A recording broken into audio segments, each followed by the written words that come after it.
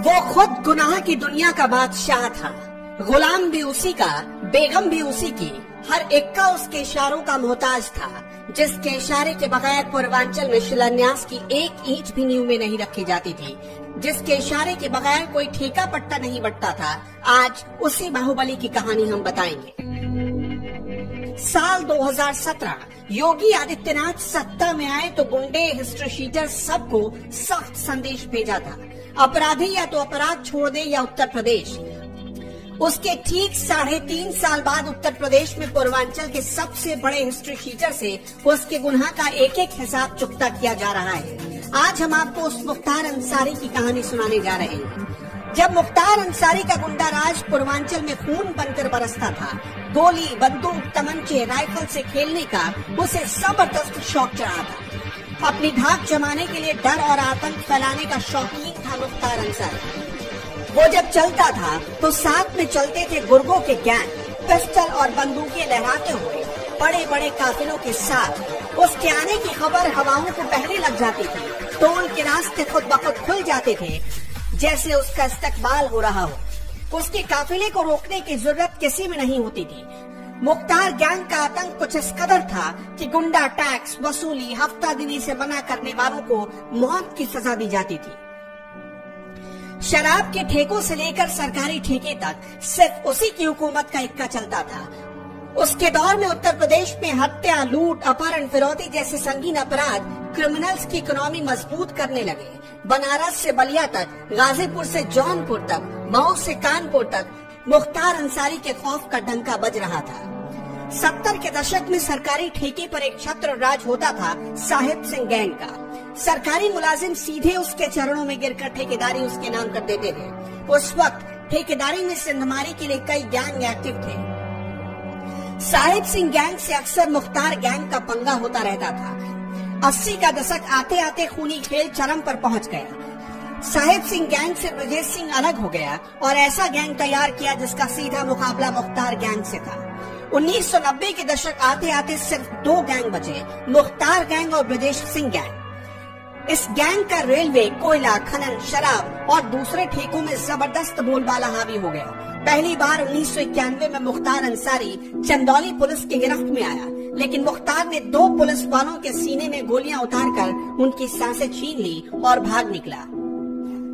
उन्नीस आते आते मुख्तार मोस्ट वांटेड बन चुका था। उसे समझ में आ चुका था कि अगर बाहुबली और मोस्ट वांटेड होकर भी पुलिस और कानून से बचना है, उनसे आँख में चौली खेलनी है तो सियासत की शरण में जाना होगा। राजनीति खून मांगती है। जिसके हाथ खून से सने होते हैं, वो सियासत की सबसे बड़ी ज़रूरत बन जाता है।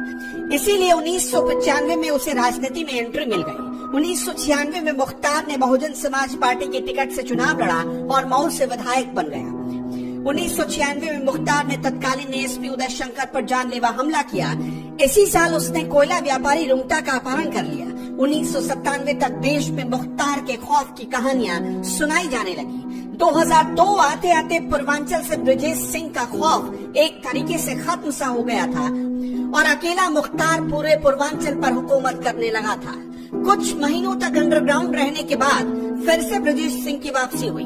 तभी बीजेपी ने मुख्तार अंसारी के भाई अफजाल अंसारी को चुनाव मैदानों में शिकस्त देने के लिए बीजेपी के कृष्णानंद राय को उम्मीदवार बनाया। इसके बाद पूर्वांचल को मुख्तार अंसारी ने दंगों की आग में झोंक दी। मुख्तार का भाई अफजाल अंसारी चुनाव हार गया। कृष्णानंद राय चुनाव जीत गए। इसके बाद पूर्वांचल को मुख्तार अंसारी ने दंगों की आग में झोंक दी। मुख्तार को गिरफ़्तार किया गया। और 2005 में उसे जेल हो गई। लेकिन मुख्तार अपने भाई की हार का बदला लेने के लिए जल रहा था। उसने अफजाल अंसारी को हराने वाले कृष्णानंद राय की सरेराह हत्या कर दी। कृष्णानंद राय के शरीर में एक या दो नहीं 400 गोलियाँ उतार दी गई थी। यानी बहुत ही निर्मम तरीके से हत्या हुई। इस काम में उसकी मदद करने वाले थे मोस्ट वांटेड मुन्ना बजरंगी और अतिकुर रहमान। 2006 में कृष्णानंद राय की पत्नी ने मुख्तार के खिलाफ दोबारा एफआईआर दर्ज करवाई। मुख्तार अंसारी का खौफ इतना हावी था कि कोई भी पुलिस वाला उसकी गिरबार पर हाथ डालने से पहले सौ बार सोचता था। उसका कट्टर दुश्मन ब्रजेश सिंह उसके खौफ से पूर्वांचल छोड़कर भाग गया, जिसे 2008 में ओडिशा से पकड़ा गया। 2009 में मुख्तार अंसारी ने बनारस से मुरली मनोहर जोशी के खिलाफ चुनाव मैदान में ताल ठोका। हार गया तो मायावती ने उसे पार्टी से बाहर का रास्ता दिखा दिया। मुख्तार अंसारी के पिता का नाम था सुबहानल्लाह अंसारी। उसके बाबा का नाम था मुख्तार अहमद अंसारी। उसकी फैमिली शुरू से ही पैसों से बहुत पावरफुल रही। या यूँ कहे, अमीर घरानों से मुख्तार के पैदाइशी रिश्ते रहे। मुख्तार अंसारी के बाबा किसी जमाने में कांग्रेस के राष्ट्रीय अध्यक्ष हुआ करते थे। भाई अफजल कम्युनिस्ट पार्टी की ओर से चार बार चुनाव जीत चुका है। भारत के उपराष्ट्रपति रहे हामिद अंसारी रिश्ते में मुख्तार के चाचा लगते हैं। लेकिन इस वक्त योगी राज में मुख्तार का सूरज ढल चुका है। उसकी क्राइम फ़ाइल खुल चुकी है। और उसके गुनाहों का एक एक हिसाब लिया जा रहा है। उसके पाप का घड़ा भर चुका है। इसलिए उसकी लंका को चुन चुन कर योगी सरकार जमींदोज करवा रही है। और अगर यही हाल रहा तो योगी राज मुख्तार के सूरज को ढलने में बहुत ज़्यादा दिन नहीं बचे।